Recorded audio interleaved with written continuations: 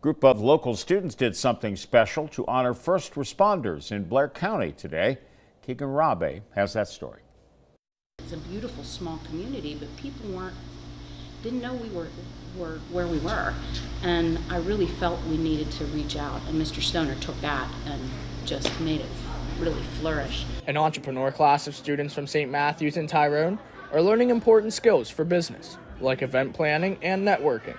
These kids are learning skills at such an early age that will benefit them for a long time. So I think it's important for us to keep it up. Uh, hopefully that keeps going. It was a nice turnout today. Today, the class hosted Tyrone first responders and borough officials to thank them for what they do for the community, as well as get to know them over lunch. Kept saying we have all these first responders who help us. We made a list of them. It's all the people that fit under first responders. And one way they wanted to recognize them was to have them for lunch. The event also helps to build connections. We would like them to know who out, is out there in the community that's there to help them.